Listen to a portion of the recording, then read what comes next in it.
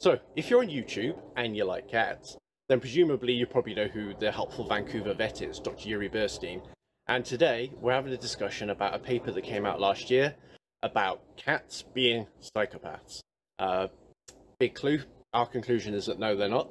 Uh, but today we really get into the nitty gritty of cat behavior and personalities, how humans have a tendency to project themselves onto their wards, and some of the differences you might get between feral cats and non-feral cats, just in terms of their demeanor and just how they act and, and what you can expect from them. Um, yeah, so if you want to head straight to the interview, uh, go to this time here. Uh, but I just really need to plug a local cat charity that's uh, very dear to me because that's where we're fostering that little one from and her little sisters down there. And uh, and that's also where we got th our three cats from and they're really struggling at the moment for money and donations, mainly because of the pandemic and the cost of living crisis that we have at the moment. And they had a big influx of feral cats over the winter that they're still struggling with now. Um, they're way beyond capacity, and literally, even a single quid would really help them go a long way. So uh, the link is in the description below to the Consett Cat Charity in the northeast of England. And uh, yeah, go and check them out. They're wonderful people, uh, very hardworking, and they just do so much for cats uh, in the local area. So anyway, on with the show. Sit back and enjoy.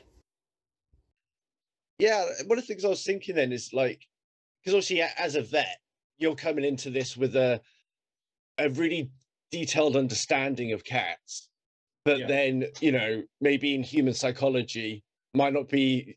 I don't know. So, do, is there? Do you know much about psychopathy, or what's your impression of it? Well, uh, I, I, personally don't know much about psych- psychopathy beyond uh, what mm. one learns from pop, you know, pop culture websites, and hmm. uh, yeah, I remember a pop psychology understanding of psychopathy. Mm. but what I do have an understanding of is that the, for the very first thing you learn in any animal behavior or animal welfare course in university is to not anthropomorphize your subjects. Mm. And of course, anthropomorphization means uh, apply human I guess, is to ignore the fact that animals are different from humans, is to apply human motivations and human psychology to animals. Yeah. And it, it's it's absolutely the, the the first key mistake people make in trying to understand animals, and it's the one you're warned about in any kind of any kind of formal course in animal behavior or training or or um, welfare is to not anthropomorphize your subjects. Yeah. Which doesn't mean that I mean there's a huge amount of commonality between animals and humans, Mm. Um, I think animals are are personalities in their own right, but they're not human personalities. Their worldview is completely different. Their brain structure is completely different. Their evolutionary niche is completely different. So it's just, mm-hmm. I feel like that appreciation is really central to any any kind of rational try, attempt to understand animals, and it's completely missing from this paper. Yeah, yeah. Out the window. yeah, that's that's certainly what I found was that um because I understand what they were trying to do where previous researchers only looked at positive behaviors and they mm-hmm. wanted to bring in the negative behaviors and claiming that the positive behaviors are anthropomorphizing. But then I felt like the negative behaviors was similarly anthropomorphizing. Because, like mm-hmm. you're saying, like it, the motivation is the key. Because I kind of one of the things I often think about is how cats play and hunt. And I, I kind of think that the reason why cats enjoy hunting is because they're quite lazy in some ways, and the species would die out if it wasn't a fun activity to do. do you know?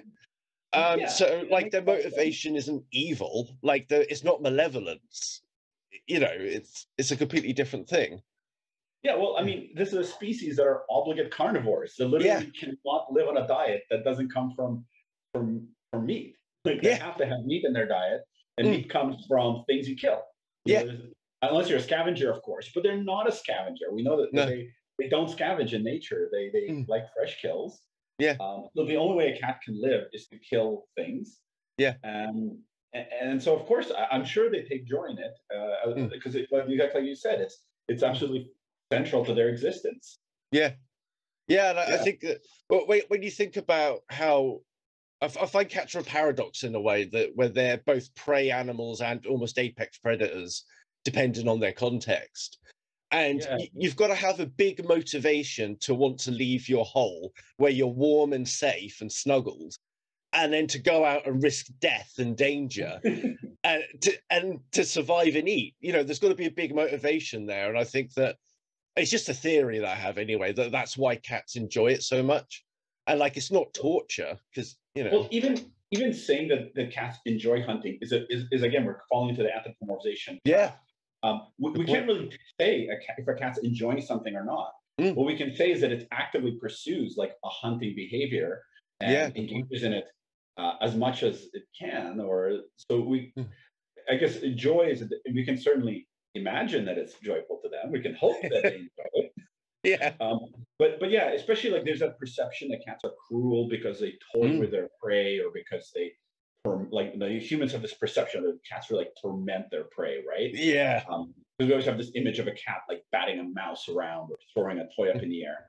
Um, Mm. But there's actually there's a really interesting behavioral study that was to describe uh, uh, cat expl- they describe explain this phenomenon and uh, they looked specifically at I think it was in Mexico City, but I could be wrong about that about feral cats who hunted rats.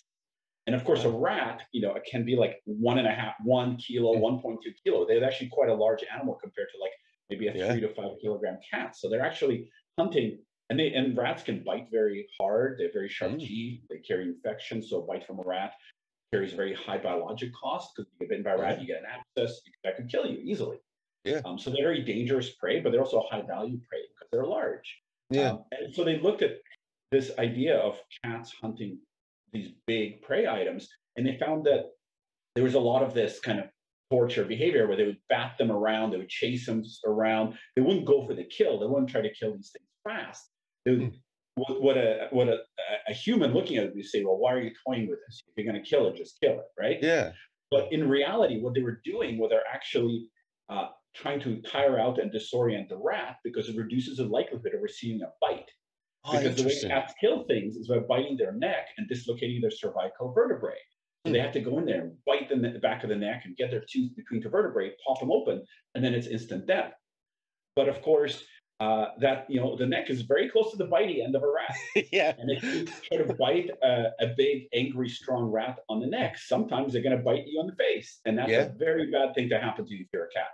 Yeah. So all of this like wicked, evil, naughty hunting behavior you're observing is actually you have to tire out your prey. You have to disorient them by batting at them with paws. That's why they give it the paw, right? yeah. And they do that the like the boxing thing, and That's right. Yeah. Yeah. Because it's to disorient the prey. So that when they do go in for that um, that kill, that, that it happens quickly and with minimal risk to the cat. Hmm. So it is like one shot, one kill, but they have to line it up correctly, basically. That's interesting. and- yeah. That's so cool. yeah, so I'm just thinking about all the wider implications of that research. That's so interesting. Um, yeah, because well, one of the things that they referenced about psychopathic behavior in the paper was about uh, in primates, um, some primates cannibalize their young. Mhm. Um, and then, but they used quite emotive language when they were describing it in the paper. Um, and it kind of built this imagery of like this feral tribe of chimpanzees just ripping apart their young and devouring them. And yeah, it's some kind of feast or something. It was a bit disturbing, but, um, but it's like the, the chimpanzees could have so many reasons for doing that. And like, it's not necessarily psychopathic behavior because I think this is the crux of it is is that application of trying to take a, a human um a human set of I guess personality traits and ascribing them to these animals that don't have the same level of complexity that we do. And we don't know what their emotional and motivational experiences are in their minds. And a lot of this is on the it's it's on a report of how we feel when we observe the cats. It doesn't tell us anything about them, just like the chimpanzees. It just knowing that they cannibalize their young doesn't mean they're cannibals by trade, you know. Yeah, I mean that's, that's, that's a, I think that's a really good point that that it's easy to reference how we feel when we observe an animal rather than an imprint and sort of use that to interpret animal behavior rather than looking at objectively from the animal's point of view. And I can see how with primates it'd be very tempting because they do resemble us so much, but they're not us. They're they're Yeah. how many tens of millions of years divergent from us, right? Yeah. Uh, yeah. So that, that's a really interesting, fascinating point, though. Uh, we do project, like humans project, right? Is, isn't that what we do? I, this is Yeah. going outside of my scope of expertise, but um, well, no, it, uh, we definitely do. Um, a lot of our stuff. I mean, um, Freud spoke about this a lot. You know, we, I mean, Freud, very controversial figure, but he identified a lot of the links in human psychology. He might have over-sexualized them, but you know, he identified the links. Um, and yeah, a lot of what we do is about projecting ourselves and our image onto onto the people around us. It's, it's very interesting how we do it, but yeah, we do it with cats as well. So I imagine that something like this study is quite uh, controversial within, I guess, the vet community. Um, yeah, I mean, do do you ever see any actual impact when you're speaking to your patient, uh, the your clients, or I mean, I, I, would say that within the vet community, it gets laughed off very quickly. okay, Uh, I, I would say in the larger community of people of cat owners, I don't think I think people who share their life with a cat Mm. uh, either would disregard such a finding or find it endearing. Because let's face it, there's millions of memes on the internet yeah, uh, that are posted about what jerks cats are. yeah, yeah, like you know, I think you know, they're little trash goblins who just Mm. sneak into our life and make just to make it more miserable. And I think it's also a masochistic streak to cat owners who really enjoy having a little, Yeah. a little, a little jerk in the house will just knock things off your desk and Yeah. look you in the eye as they do it. yeah, Uh, yeah. so I, I don't think it's really of an impact on people who share a life with cats. I mean, if I have to express a concern, it might be to uh, perhaps families who have never had a cat before and are thinking, you know, the kids are growing up and maybe we should get a kitten. Who might read this and, and think twice about it, which would be a very unfortunate because it's a real misrepresentation of cats. I mean, not to say that cats aren't complete jerks, yeah. but but, but they're not psychopaths. Yeah. Yeah, they, they have the capacity for it, I think. yeah, yeah, uh, yeah. Because one of the things that they, when they were talking about um, psych- psychopathy, um, I noticed the researcher when um, she was talking on Twitter to somebody, trying to say that like we're not calling cats psychopaths, we're saying that they show traits of that mimic psychopathy. Mhm. Um, and again, I think you know it does come back to that um, the translation of that human behavior again Yeah. saying that it's yeah Well, I would ask you, what are those traits that they identified that mimic psychopathy? Let's break it down. Like, Yeah. what are they seeing cats in this paper that mimics human psychopathy? Yeah boldness meanness and disinhibition Well, let's break it down because when I read the paper, I um, I took real exception to the, to these to, to Yeah. their attributing of these characteristics to cat behavior. So, Yeah. um, if you have the paper open with you, Hmm. why don't we just actually look at those three traits and and let's describe. Let, you, if you have it in front of you, could you read out the, the the behavior that they observed that they would then for each of those traits, and then let's break it down.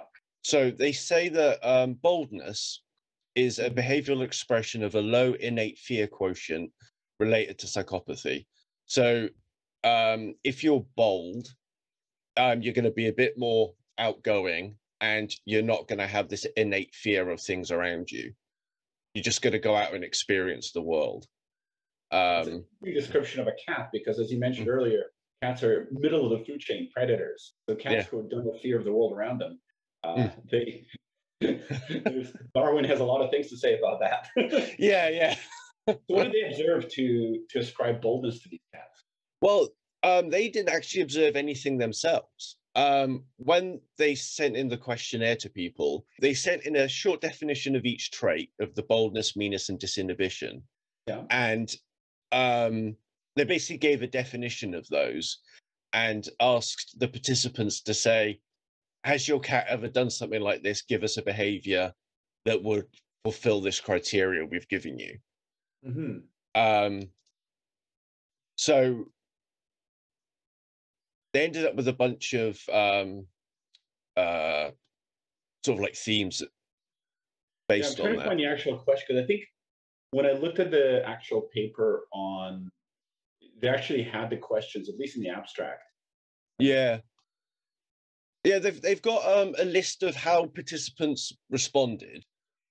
Um, Right. So it, you know, they might say, "My cat demands attention," so they'll tap people with this his or her paw to play. or my cat walks on and sits on items I'm trying to use. Um, They misbehave if not shown attention, all that sort of thing. And then that's how they responded. So it's like, oh, you know, if your cat was bold, tell us how they were bold. Right. It was very basic what they asked the um, what they asked of the participants. Yeah, because I think a- a lot of those are, interpretations of boldness are Mm. actually very um, wrong. I Yeah, mean, for example, like like a cat approaching a human uh, who's a part of its family member to greet them would not necessarily be has not to do with boldness, right? It, it has Yeah. it just has to do with, with maybe social bonding. Um, it's it's it's not really a measure of the cat's. I guess to my understanding is bold. What's the definition of boldness in the human uh, context? It's it's basically bravery, right? yeah, that's what I've always thought. Like you just Risk-taking, is that a more technical term? Sorry? Risk taking would that be a more technical term? Yeah, because of the low level of innate fear. Um, But the thing is, it- I might even say that innate fear, I would have thought, is about more natural things like um, aversion to spiders or rats or that sort of thing. That's that's how I would have seen an innate fear. So, but they're ascribing. I mean, for example, they've got a fearlessness category. Um, so it's like my cat explores dangerous places. Uh, Right. Gardens of rival cats are very high places, or my cat explores new places. So they'd say that cats that explore like that have a low level of fear. Right. Yeah, and I think that might actually be so. I know that in a veterinary context, exploring behavior in cats is associated with boldness, um, or at least not being stressed out. And it's Hmm. actually it's actually relaxing rather than and low level of stress rather than low level of fear. Hmm. Because again, fear is a projected human emotion. We can say a Hmm. cat is tense because we, it's afraid, but that's an interpretation. Yeah. Um, but yes, it's, it's certainly uh, exploratory behavior is relaxing to cats. Hmm. Um, I mean, conversely, yeah, that's an interesting, um, interesting interpretation. I'm trying to think. There's a couple. What did they actually ask these people? I wish we actually had the questionnaire. The Yeah, I tried accessing it, but I couldn't access the actual questionnaire. Yeah. Um, it's also interesting because done through the perception of owner, owner perception of the cast personality, which exactly. is certainly a methodol trains the methodology a little bit. Yeah, because um, I think one of my main critiques of it was that what you really need is um, video evidence of the cat's behavior and seeing how it actually matches with uh, the human Yeah. report and see how close it is. Because I know that's what they do in a lot of um, uh, primate studies. Yeah. Okay, there we go. So they looked at disin- so boldness, disinhibition, and pet unfriendliness. Um. So that, that that's really interesting because like disinhibition um, and pet unfriendliness brings a higher quality cat owner relationship, yeah. and boldness a lower, which is which is really uh, an interesting conclusion because Hmm. a a pet owner relationship involves a cat and the owner. Yeah. Um, but I would say like pet unfriendliness is actually uh, a territorial behavior. Um, Hmm. You know, cats do live in groups, but they but they- they're exclusive groups, and it Hmm. takes them a, quite a while to warm up to to new animals in their environment. So Yeah. again, like to say that uh, pet so to, to to describe unfriendliness Hmm. um, to territorial guarding is again is, is like a huge projection of human values onto an animal, right? Because Yeah. it's it's it's not friendliness or unfriendliness. It's like imagine if some stranger walked into your house and started you know using your loo. I Yeah. mean, it's not unfriendly to, to ask them what they're doing there. Yeah. So Yeah. when you have a cat and you have another animal walk to their territory and the cat hisses at them and maybe stares or, or gives them a swat, that's not unfriendliness. That's that's the equivalent of a human saying, "Excuse me, sir, um, is this your house?" Yeah. Exactly. Yeah. I don't think anybody would label you a psychopath. Yeah. a stranger is walking around your house, right? Yeah, yeah, yeah, exactly. And and I think that um and I'm wondering if that actually the, the way that we anthropomorphize cats in that particular area in terms of their so-called aggressive behaviors like that, uh, which aren't actually aggressive. Um Mhm. I'm wondering if it's because um cats always live in they're in their minds are always in the wild. Um Mm. it is that how true would you say that is that 'cause I'd, I'd I have a theory that cats and um, they've ne- they've never been domesticated. Yeah. So, you know, so to them they're always existing in the wild, and if they're in your house or they're out in the field, they're the same. Um, you know, Yeah, I, I agree 100%. Uh, I mean, you're you're right that yeah, I think the current the current thought is that cats are not domesticated animals; they're Mm. symbiotic animals to us. Yeah. and absolutely, they they draw no distinction between being in the middle of a wild forest and being in the middle of your living room. Yeah. uh, in the middle of a wild forest, they would also have a little den or territory they Mm. consider home. Um, Mm. but that at no point does that mean it's any safer than anywhere else in the forest, right? yeah, yeah, so yeah, I think I think you're quite quite right there that there's no distinction there. They're they're always on. One of the things, Yeah. they're always on. yeah. Their ears are all like, even if they're asleep or you think they're asleep, their ears start going like that. Yeah, You yeah, yeah, yeah. They're, they're always ready to react, and I mean, and that's just that's just a genetic predisposition, right? The, the Mm. cats who are a bit too slow to jump up and run were just never never made it, right? yeah, yeah, yeah. they were the prey. so what were the others? So we had boldness, Yeah. um, which was just basically, uh, you know, they, they looked at cats who were inter- interacted a lot with with humans, and and somehow discovered the boldness. Whereas in reality, that's probably Mm. just a question of how human centric these cats are. You Yeah, have yeah. a very brave cat who would Mm. stare down a wolf. Uh, who just Mm. doesn't care much for humans and it may not want to interact with humans that much and Yeah. um, uh, you know saying that that cat isn't bold would be a very big stretch and Mm. it might just not care for the way humans smell or move or something else right uh, what, exactly. was the other, what was the other?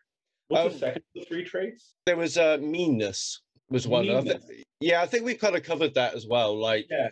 in terms of just um, if they hiss or swat or get the hackles up, and you know, it's, Yeah, that's that, ascribing that again, saying that that's meanness is just such a Mm. odd interpretation of that. I mean, fearfulness maybe, um, Yeah. strong territorial instinct maybe, um, Yeah. high emotional tone, yeah, perhaps. yeah. just a bit stressed out, you know. stress, absolutely, yeah. Yeah. Could And- be and-. Those could be because I noticed Yeah. that one phenomenon we see in the clinic is we see cats who are like super lovey-dovey at home. They're just the sweetest cats who have like an amazing relationship with their owners. But you Yeah. bring them to the clinic, and they're just they're monsters. You know, they're, they're dangerous to work with. You know, we Yeah. need three people and a towel to do anything. Wow. And that's just a stress response because these cats Yeah. live a life that's just they live. You often these are indoor cats who live in a small space, so they just Oh, live in a perfectly secure, stable environment where everybody loves them. And then all of a sudden, everything changes. And cats are neophobic by nature, right? They don't Mm. like change. So, Yeah. and these cats are very like like a lot of the cats that like get fired from vet clinics for being too aggressive are really sweet at home. And in fact, often I ask the owners, like, I might have a cat that I can barely touch, and I'm prescribing it. You know, okay, you got to give it a pill twice a day. I often ask the owner, I'm like, how's the cat at home? Yeah. um, because I don't want to tell them to give a cat a pill twice a day if the cat is a monster. Yeah. And most of the time, I'm surprised to find out that the people are like, "Oh, of course I can give it a pill. It's it's the best cat in the world. What are you talking about?" And I'm really happy to hear that every time. yeah. It's actually it's quite funny hearing it that way around because um um one of my cats, Padme, she's um she, she was very traumatized and feral when we got her. And um I think it was one of the nurses at the clinic was the first person to ever stroke her because we're like, oh, she's really feral, you know, you might have to hold her down or something, we don't know. And then uh, my partner took her uh, took her bay into the clinic, and then the nurse is just stroking her. Padme just cowers down and she just accepts everything being done to her. And you're like, Yeah. you make us look like liars. well, funny. That's that's a mirror image of that. Is that in cats who are quite stressy, Mm. sometimes, like you said, they just hunker down and just freeze, and you Yeah. actually they're actually quite. You know, you have to. These are the cats where you really your cat handling skills will shine through because if Mm. if you if you're if you handle them approach them the correct way, they'll just stay frozen. you can Oh, okay. you know, you can get blood samples from them and take X-rays and do catheters, and they're okay. But Yeah. there are definitely cats who, if you if you push it, they they can be pushed over the line into an aggressive or defensive response. So this Mm. Yeah. is where you actually you're you know clearly the the nurse in your clinic knew what Mm. she was doing. Yeah, yeah, she's really good. Yeah, approach the cat, and if, if you those cats, if you handle them right, they'll just stay frozen in fear. Yeah. yeah. Nice for the veterinary team. But Yeah. the veterinary team can't screw it up. Oh, okay. it can go bad, can it? Yeah. Yeah, we've been quite lucky. those cats. yeah, yeah. yeah, and then the um the last one actually was a disinhibition. Um and I think that's a little bit related to what we were just talking about. Um in terms of like the extroversion of the cats. And in the study, they tried to relate it to um activity levels. Um in study three, they checked cats' activity levels and their sleeping patterns.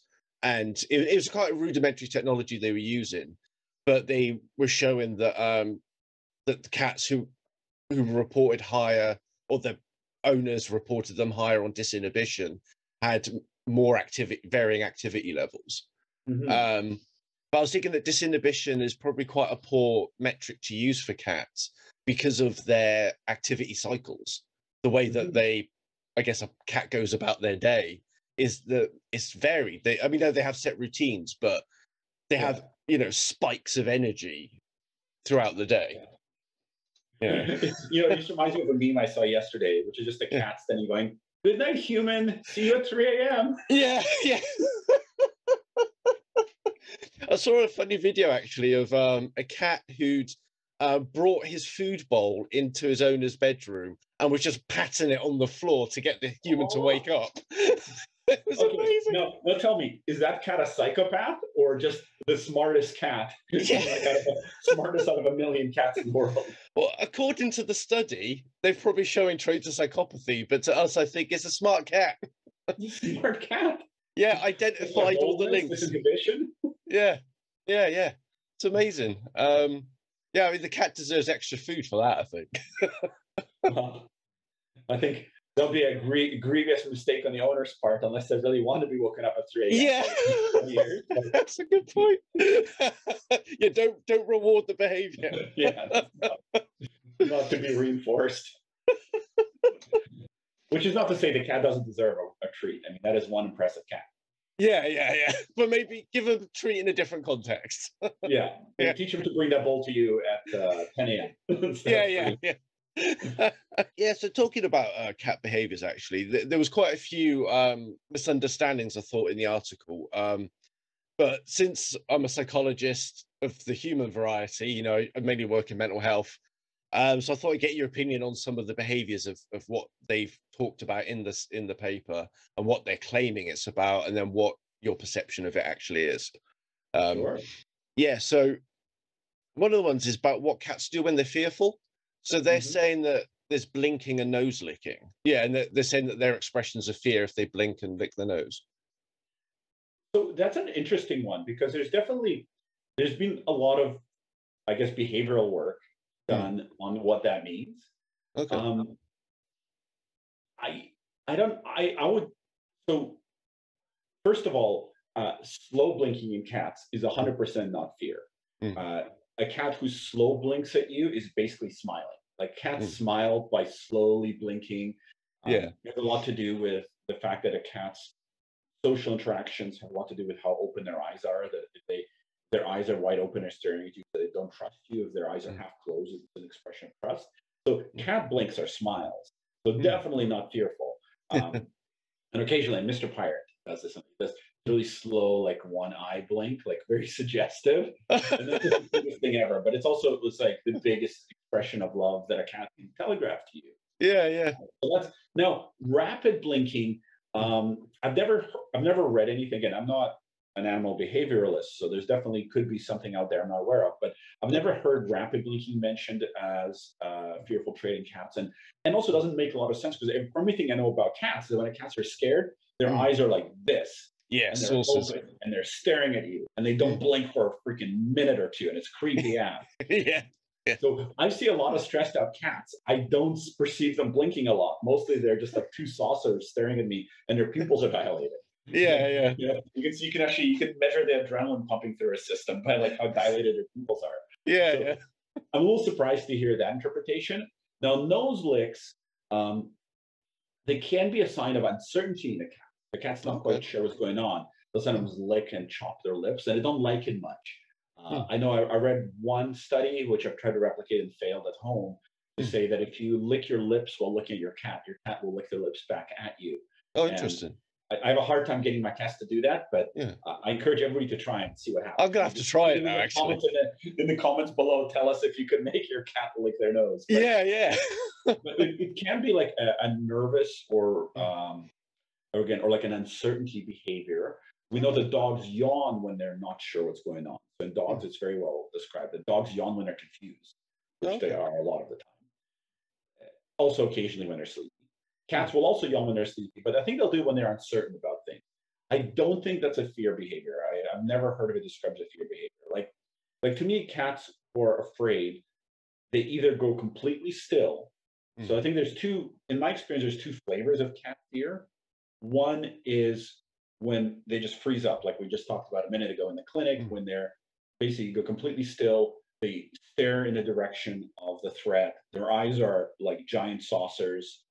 Um, and then maybe they try to make a silent exit and sneak, slink Yeah. away, if able to, or they just freeze there. Yeah. The other, I think, fear response, of course, is more of an aggressive, is, you know, ears peeled back, hissing. Uh, they may even, you know, lash out if, if something comes near them, uh, but then draw back. Um, Okay. That would be again, or or just, or again, the other thing is they puff up, themselves, and this and like fly off in an opposite direction. It's, Yeah. That's an acute fear response. Yeah. Um, I don't think that's. I don't think any of those were described in this paper. no, no, they weren't. No, no. And I, the whole maybe. yeah, yeah. The one where cats just kind of go nope and just leave. That's one of my favorite ones. If they're like they're not sure about a situation, I just love the way they just go. I mean, that's what Yeah. mine do anyway. They're like, oh, I'm not having this. run to do it, right? And then little Yeah. slinking kind of. Yes. Yeah, yeah, exactly. Like pitter patter. Yeah. Yeah. Hard no, out of here. Yeah. Yeah. Um, this is actually something that I've noticed a lot um, in the sort of the cat adopters group I'm part of. Um, like if they're getting you adopter, they often talk about the biting or scratching when they're playing, and when Mhm. the cat shows their belly. Because obviously, every every first time cat owner thinks tickle the belly if I see it, and then they regret it afterwards. Um, so I just wondering, what are the different expressions of biting or scratching if you're playing with the cat? Yeah, I mean that's a that's a that could be a whole video topic to itself. Um, but what I do say is that when- cats fight, they Mm. bite, Mm. and when they and they bite, you know, the cat teeth are really sharp, so they bite deep and it hurt and they draw blood. Mm. Uh, so if your cat bites you, but your skin isn't broken, your cat didn't bite you.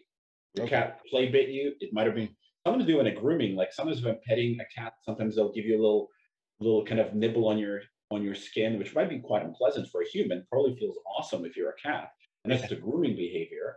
Uh, Mm. During a play station, they may bite you just because they're play biting others. They're you know play behavior in animals is training, Yeah. and they're training for hunting. They're training for you know uh, fighting for mates or fighting for territorial defense. It's eh, you know play behavior in a cat. It's basically like a Rocky montage, right? There's yeah. one thing cats need to do, and that's kill, kill, kill. There's three, there's three things cats need to do, and they're all kill. yeah, yeah. So, so yeah, a cat playing is just a Rocky training montage, and of course they're going to nibble on you. Um, but again, if your skin's not broken, your cat isn't going to bite you. Hmm. It might not be pleasant. You might not want them to do it again, but it's Hmm. for your peace of mind. They didn't bite you because if they bit you, you'd be bleeding. Yeah, Yeah. And I mean, of course, accidents happen. They might bite you and make you bleed without meaning to, but 99% of the time, right? Yeah. Like everything in science. Yeah, yeah. Um, yeah. scratching even more so like when cats play they scratch so most human cat scratches occur when people actually don't react inappropriately to the cat not when the cat reacts inappropriately to people Mm. so i mean cat claws can be quite sharp the cat latches onto you the instinct for us is to drop back but cat claws are hooks. They're Mm. designed to keep things close to the cat. So if a cat has their claws on you and you drop back you're going to get blood and you scratch yourself. The cat's innocent.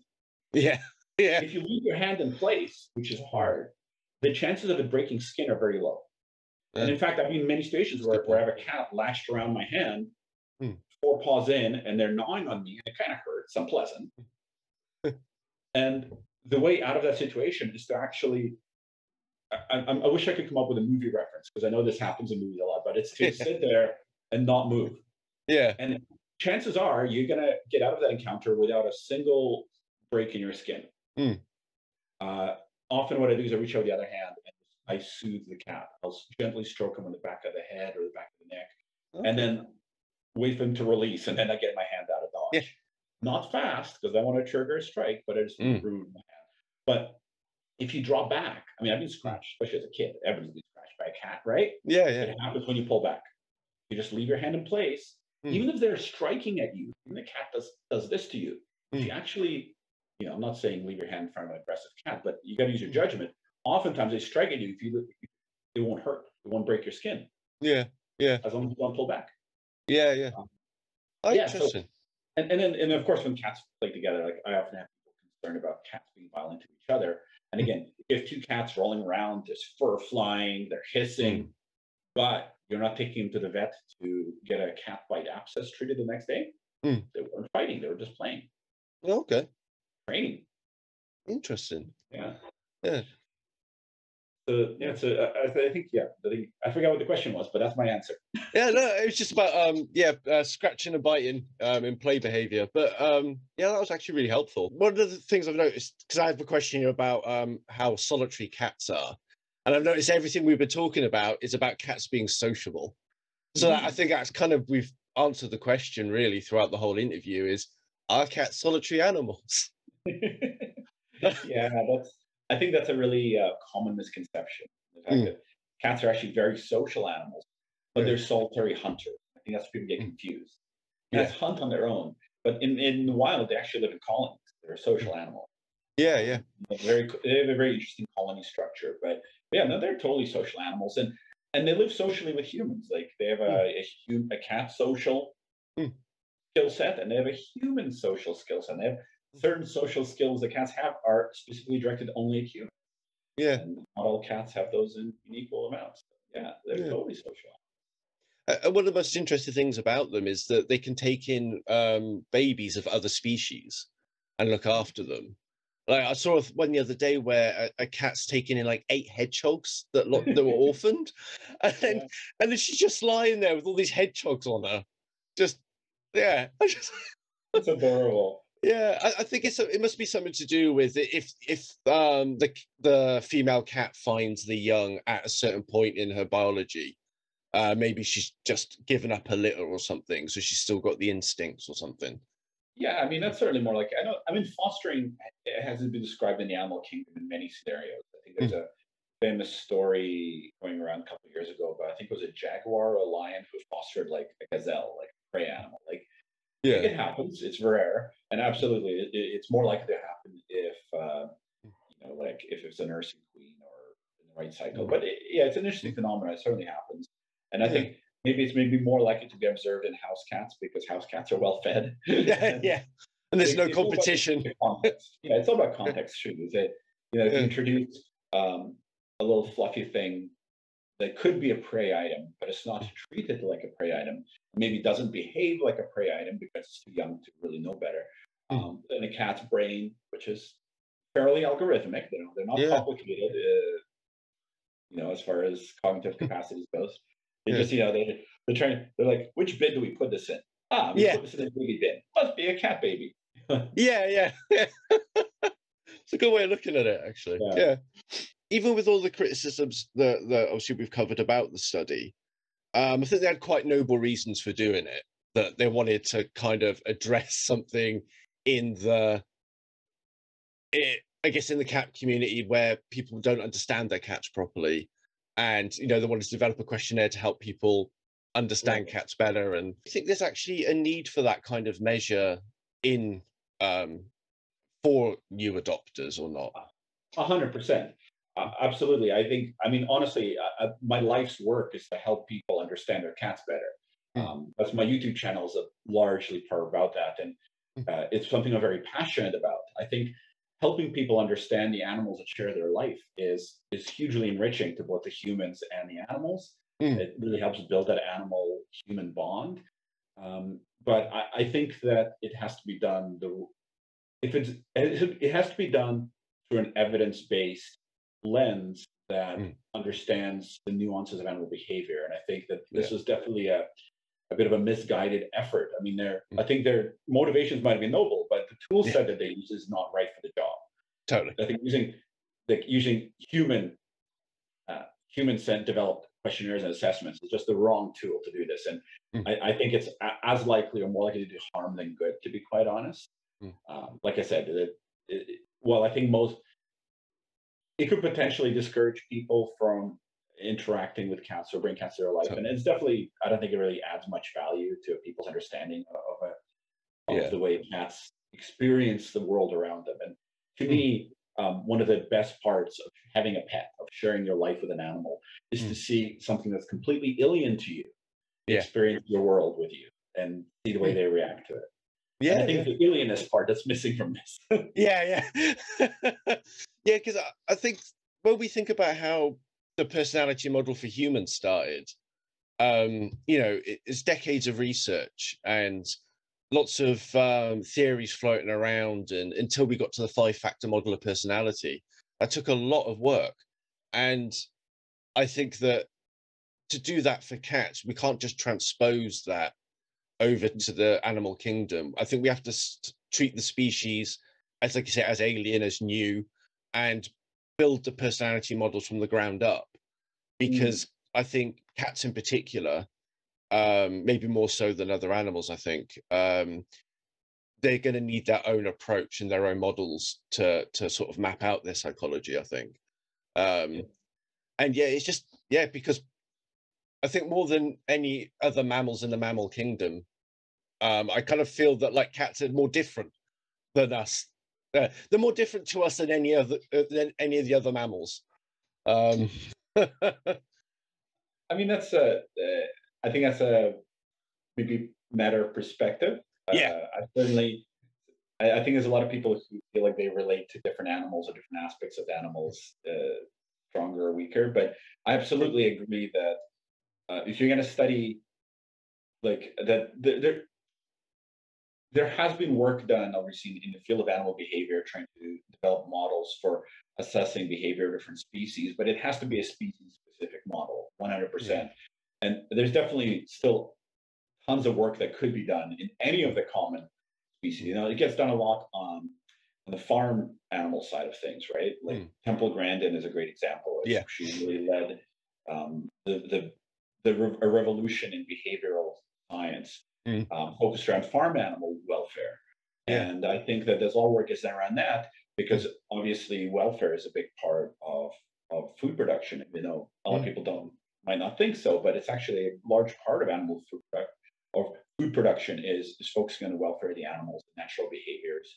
Hmm. Um, but it has to be very species specific. And you know, as in, I know in vet school, you know, I work with cattle and horses as well as cats and dogs and pigs, and they're all so different. Yeah, they're all so different, and working with them is very different, and it requires uh, really understanding the differences in their in their behavior. Now, hmm. psychology might not be I'm, I'm not sure that the, mean, the term psychology can be applied to them because okay. I mean, their brains are so different from ours, right? Their cognitive mm. landscape is so different from a human, but they're yeah. all very, very different from each other as well. Yeah, yeah. That's a good point, actually, because I guess that when we think about psychology, we tend to think in terms of um, of just that human element and how that's, and then we we take that those assumptions and then we start applying them in the animal kingdom. Um, mm-hmm. yeah, I think I'd have to think about that a bit more. Actually, that's a really good point. Um, so we yeah. end up having a bad experience on Twitter. yeah, yeah, exactly. yeah. uh, yeah, yeah. This is why I don't have a Twitter account. I can't. I couldn't handle the stress. Life choice. yeah, yeah. Um, so they, they bring up about euthanasia as the biggest cause of death for domestic cats. Mm-hmm. Um, and how much of that do you see from euthanasia from illness or euthanasia from kill shelters or just from yeah, cats so, are unwanted? Uh, this is another, yeah, so they're not wrong. Mm. Um, so we know that behavioral problems are the number one reason for surrender of pets to shelters. Okay. And certainly euthanasia is a possible outcome of a pet being surrendered to, shel- to a shelter. In fact, quite a high likelihood outcome, right? Mm. Uh, I, I, have, as a veterinarian, I have very strong feelings about people who surrender their pets to shelters rather than take personal responsibility for the pet. Yeah. Um, they're not good feelings, they're very negative feelings. Mm, um, but yeah, I think behavioral issues, but that's is and also behavioral issues is an incredible catch-all term. Mm. Uh, it's a massive kitchen sink term that uh, could really be broken down. Um, the other side of it is that certainly in areas where there's a, uh, particularly in urbanized areas where there's a large feral cat population, there's typically programs, animal control programs where these animals are caught and you know put in a shelter, and if, if somebody doesn't want to take them home, they're euthanized. So they're um, in that regard um, certainly can add a lot to the feline mortality, right? Because Mhm. the goal of the program is to reduce feline feral feline population, and the city doesn't care how they do it. They're just Mm. as happy to kill the cats as, to have them find a new home, right? And Yeah. it's certainly not all feral cats necessarily make good pets, because as we mentioned earlier, cats co-evolve with humans; they're not domesticated. Mm. Uh, I went to a behavioral conference with a student where they they brought up a really interesting point that a certain percentage of kittens, maybe 10, 20% of kittens, Mm. um, I, I don't maybe I'm not remembering that number wrong, but a significant percentage of kittens will just never make a good pet. They're cats who are not interested in sharing life with humans. They Mm. want to be out in the woods, killing things, Yeah. hiding from coyotes. Mm. Like they just have no interest in living in a house. And you know, those you can't force one of those cats to be a good pet any more than you can force a Yeah. badger to be a good pet. They're just wild animals, right? Mm. So I mean, I, I do think that helping people relate to cats and understand cats will definitely reduce the amount of behaviorally triggered um, shelter surrenders Mm. uh, and, and it might even increase the rate of adoption. Certainly, a lot of animal welfare and behavioralist work is aimed at work in shelters. There's a lot of uh, behavioralists who work in like SPCA or Animal Humane Society contexts Hmm. and try and in fact they've this th- this work has led to changes in the way these animals are processed, housed, and treated, which increase adoption rates. We know that if we do Hmm. certain things, we increase adoption rates. Some of the work was actually done uh, by students from the Animal Welfare Department at UBC here in Vancouver. And in the Vancouver SPCA, it's really a lot of the seminal work on cat housing was done here. So we know we make big differences to adoption rates. And in that regard, uh, I think animal behavior definitely is crosses over into animal welfare. Yeah, Um, yeah. But but at the same time, uh, there'll always be a percentage of animals who simply will never make good pets. In the case of cats, that's often just feral cats who just have no interest in being with humans. Yeah. Um, and you know they either get, end up getting euthanized or in some cases you know sent out to a farm somewhere where they can kill rats and, and help us with Yeah. agriculture which is a fantastic place for them Yeah, Again, in vancouver there's a number of um, farms that are kind of make it known that they'll accept drop off cats you drop cats people drop cats and not that it, not that you should do this a lot of farmers are like but uh, some farms will actually accept cats and the cat colonies live on their farm keep the rodents down you know Hmm. it's a thing Do the uh, cat job. with- yeah, I mean, with dogs, it's a little bit more complicated because Mm. a lot of the dog and behavioral issues are often caused by poor socialization and Mm. they're caused by the humans or the breeders, or it, sometimes it's what happens to the dog before it gets their family. Sometimes it's what's done by the family. And that is a really thorny issue because a lot of these dogs are basically they're like equivalent of traumatized children. It takes Mm. tremendous amount of work to make turn them into something that looks like a good pet, and sometimes Yeah. it's impossible and and so some a lot of these dogs euthanasia is really the only option for them because they'll just Mm. never be a good pet they'll never be okay and Mm. they can't just live in a shelter their whole life so um, you know certainly i think a, per- a certain proportion of behavioral euthanasia is unavoidable and uh, just a quick plug here you know no kill shelters or animal rescues that refuse to euthanasia are deeply problematic in this regard because often they end up with animals that have Mm. absolutely no future as a pet Yeah. and often this leads to actually serious animal welfare concerns, like real decrease in animal's quality of life, where these animals Mm. could, you know, euthanasia would actually make their life better. Yeah, yeah. Um, so yeah, so I have a lot of people really like this idea of no kill shelters or Mm. no kill rescues, but I personally do not support them, and I think that they're Mm. deeply problematic because they ignore certain facts. Again, this is maybe a bit of anthropomorphization, but they ignore certain facts about not all animals will ever make good pets, right? Yeah. and they have limited room for uh, limited places in society. For them, Yeah, I think um that's when like sort of like the ideology of of an idea kind of takes hold, isn't it? And right? um because I, I imagine that having a total no-kill shelter, like you say, is a bit unsustainable. It's problematic for the welfare of some of these cats, and maybe there's a bit more of a compromise that, that could be had with them where they could I don't know. There's got to be a I don't know what kind of what would be a workable solution for, for Yeah. a service like that. But yeah. Yeah, well, I mean, just, I mean, you're right. It's a it's a problem without any simple solution. Um, but it's definitely, how you say, yeah, it's definitely a lot of work has been done in this area, and there's certainly a lot of progress has been made in helping adoption rates. A very measurable outcome. So this is a great Mm. thing to study because you can really measure outcomes very well. And Mm. um, certainly, uh, you know, on a local level, people can encourage their local municipal shelters, or local societies to engage with this kind of work. Mm. Um, but uh, I think, uh, yeah, it, it- it's definitely a complicated question. It's one without a simple answer. I, think that um, if there was somebody who's going to develop a, a measure like this or something about personality types in cats, um, for actually for it to be useful, I think it should probably account for sort of feral and ex-feral cats and non-feral cats. You know, because I don't know from my experience, it's quite limited, but I feel like these are just completely different types of cats with different issues and different personalities. Oh, completely. Yeah, we know that kittens of feral, uh, feral queens, so Mm. feral cats, are much more likely to be feral, or much less likely to be human-centric.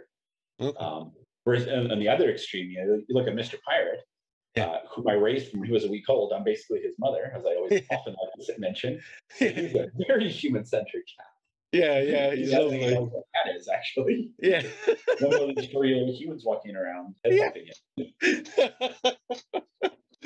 yeah, because Yeah, definitely, it definitely needs to account for uh, where they come from. Yeah, yeah, because it wi- with Hermione and Padme, like I was saying earlier, like they were both quite heavily traumatized. Um, like it's one of those times where their first home when they were kittens said that they were very violent and aggressive, but then you see the cat and you're like, what? It's a tiny little ball of fluff. How is that Yeah, violent and aggressive?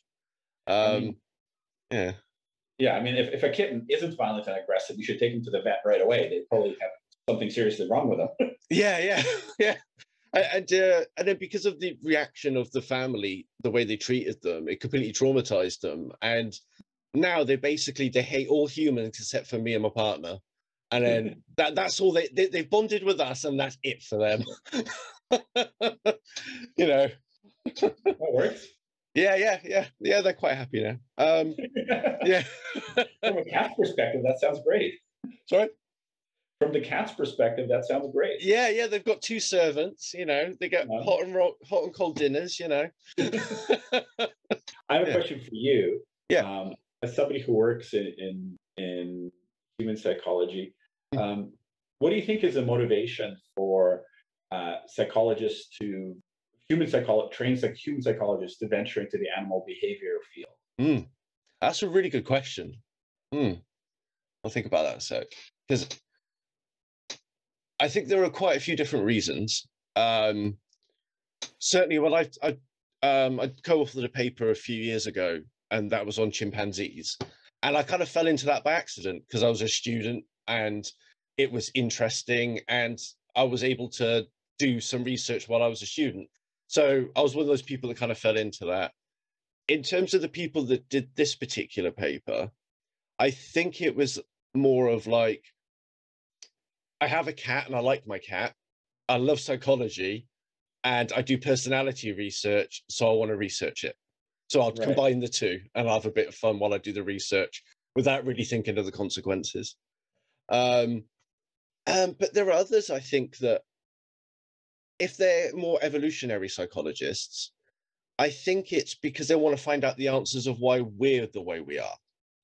Hmm. And so by unlocking um, some of the mysteries of um, other species, um, particularly our closest ancestors, our closest cousins, uh, we might find out how and where certain things evolved over time.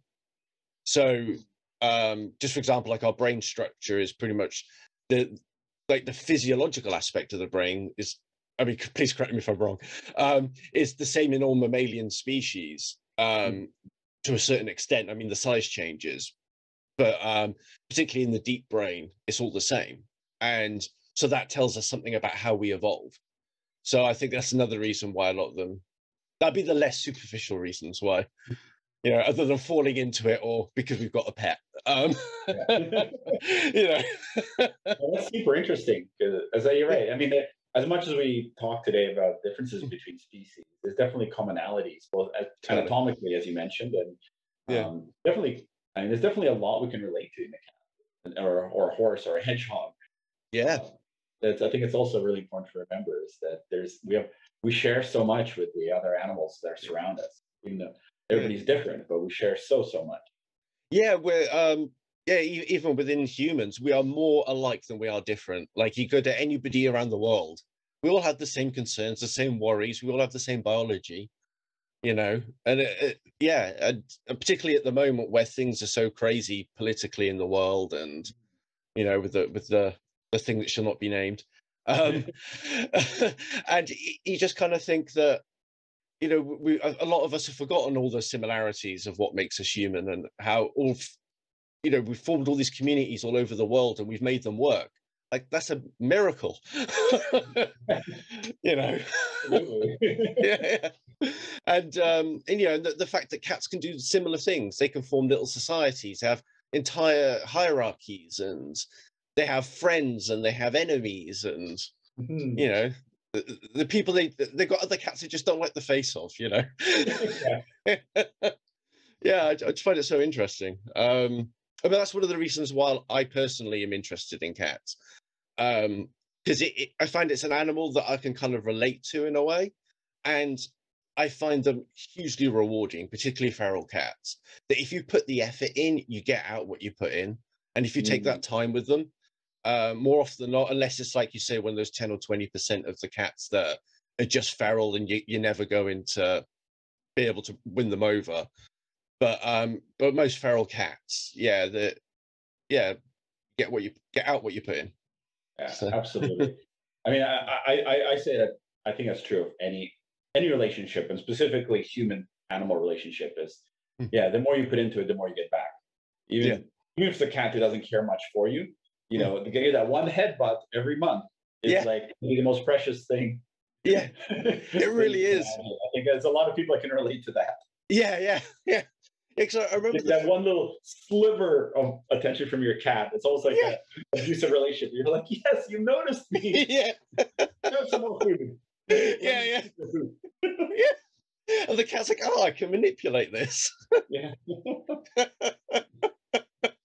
oh, yeah. Um, I think with, with Padme, um, the first time I was able to stroke her, it, it was just so funny how it happened because um, Hermione and Padme were lying next to each other on a blanket, and I was um, stroking Hermione, and mm-hmm. then I noticed Padme wasn't freaked out, and we'd had her about three years by this point, so I just kept stroking Hermione closer and closer to Padme, and then and then eventually I just slowly started stroking Padme, and then she just accepted it, and just oh, didn't freak out. And it took three years to get that.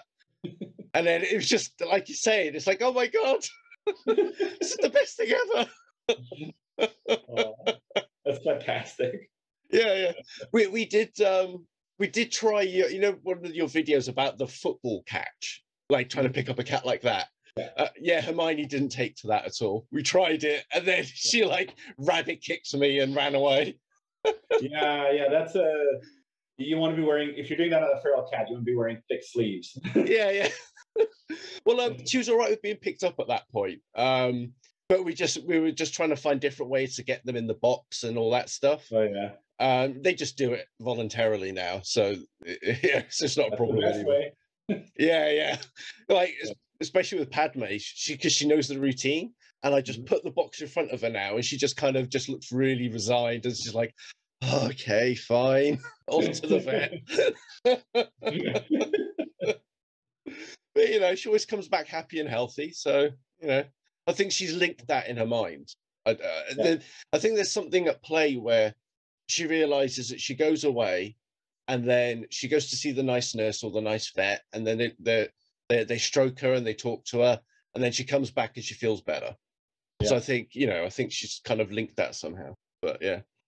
Yeah, absolutely. I mean, yeah, the veterinary team can make a huge difference. Like, mm. not not there are definitely some cats and dogs who will never like going to the vet, mm. but it is tremendous what a difference uh, a skilled veterinary team can make. Like, like I, I've worked in many hospitals. I've seen places where every cat is just a ball of teeth and claws. Yeah. Um, I've seen hospitals where every dog is just a nervous wreck, and I've seen Mm. hospitals where you know cats just chill in the consult room and let you look in their mouth, and Oh, where dogs wag their tail. And it's a and having worked in the back of all of these, I Yeah. guarantee you, it's the veterinary team's skill in handling animals that determines ninety percent of that. Yeah. Except for that one cat who just will hate you no matter what. No matter but, eh, that's life. yeah, yeah, yeah. so actually, um, just while we're on the topic of clinics and stuff, sometimes you'll see, say, like a big brand like Pets at Home, and they sometimes have a clinic out back that people could take their pet to. Yeah. Um, I've just like I, I'm always naturally suspicious of everything. I've always preferred like no, I'll take them to a vet that's not attached to a brand, you know that kind of thing. Yeah. It, I mean, is, are these vets kind of reliable, or is it something you you can't even comment on? Or I mean, that's a really complicated question. okay, Um, I, I would say that uh, in general terms, you know, it's a, it's a valid question, uh, especially with the you know uh, with the advent of corporate veterinary medicine. Like fifty percent of clinics in North America are owned by corporate entities by now, okay, um, and it's only set to grow. And I think UK might even be higher than that. Hmm. Um, I would say that o- overall, uh, they're all. I would say that you can't judge a clinic by whether it's part of a corporate entity or not. There's many other Okay. things at play that determine whether they're competent and honest. And um, as as an owner, pretty much you have no idea what's going on with a clinic. It's really hard to judge. Um, Maybe the topic of future videos of mine, uh, but I might make uh, when I'm ready to retire. no Yeah, yeah. Pissing off half my profession or three quarters of my profession. yeah, yeah, Uh, but I would say that corporate ownership is not is neither a guarantee. It's neither a good thing or a bad thing. It's just a thing. okay, Yeah, it doesn't. yeah, There's certainly in some contexts, there's some things about corporate practice is actually much better than small Mm. general independent practice. Some things might be worse. Also, every corporation is also different. There's definitely some variations there. So uh, Yeah, you can't really totally. make a blanket statement, but um, I definitely wouldn't use that one criteria to decide where I take my pet. There's many other Yeah. criteria to use. okay, okay. Yeah. it, for other people who, I guess, aren't animal behaviorists, or we're not, we don't work with animals on a daily basis or anything. For anybody else that's going to be doing studies like this in the future, what kind of things should they keep in mind before they do the study while they're in their implementation phase? Well, That's a great question. Um, Yeah. My advice would be to just to be aware of know what your field is and know when you're stepping outside of it, Hmm. and reach out to somebody who to collaborate with. Because um, you know, there are definitely there's animal behavioralists, there are animal welfare departments and animal behavior departments in most universities, uh, and also there are vet schools with um, veterinary behavior specialists. So just I think it's just important to know know what your field is and know when you're working outside of it and and and find experts to work with. Yeah. Um, you know, there's the uh, there's definitely um, specifically from a veterinary side. You know, there's in North America. There's the College of Veterinary, um, the American College of Veterinary Animal Behavioralists, which is uh, you know uh, a college that oversees a four-year residency in animal behavior, and they qualify veterinarians who are specifically behavior specialists. I think in UK, the Royal College also has a veterinary behavioralist designation. So you can seek experts, clinical experts in animal behavior. You can also definitely find academics who study animal behavior. There's lots of them, and Yeah. uh, they probably all need to publish papers. So Yeah, yeah. of people to collaborate with if that is a field of interest. Yeah, yeah. Because I mean, we're now that we're in a publish or perish um, Mm. era in universities, so yeah, I think people will only be too happy to collaborate. Really. Yeah, and it's it's definitely yeah, particularly in, medical research, but I think probably in other areas of research as well. Hmm. Uh, I think uh, the fields that are focused a lot of animal on human health or Hmm. human psychology. It's important to remember that humans are not necessarily unique; they're just one Yeah. of many species on Earth. Um. Certainly, I've been involved in medical research for parts of my life, and again, just remembering that there are experts out there on Hmm. animal health uh, would would probably save billions of dollars in medical research and Yeah. many years of wasted time. Let me put it that. That's that's all I'm going to say about that. But, but yeah, a bit, a bit of arrogance in the human medical field has probably cost us decades of progress and billions of dollars. Yeah, I agree with that. I think from a limited experience and stuff, I, I definitely agree with that. Um, oh yeah, um, that's everything I got actually for today. Uh, Awesome. I never know how to end these things. All my videos just end. Yeah. well, I, I- would say agree with you, and it's, it's been a pleasure chatting with you. It's been a really Yeah. fun conversation. yeah, And uh, you know, if we find another topic where where Mm. areas of expertise overlap, I'd be happy to do another one of these with you. Oh, excellent. Thank you. Yeah, I've, I've had a really good time. And uh, thanks for giving me over an hour of your time today. Um, Oh, I really, really appreciate it. Yeah, and we can thank our viewers for watching this. Like, yeah, if Yeah. still watching this, thanks for sticking with us. Yeah, yeah. it's like a fireside chat, isn't it? You know, Right. have a cup of coffee and chill while you listen to it. hey, I mean, you know, uh, it, I think this is a great way to really chew over a topic and have a good time doing it.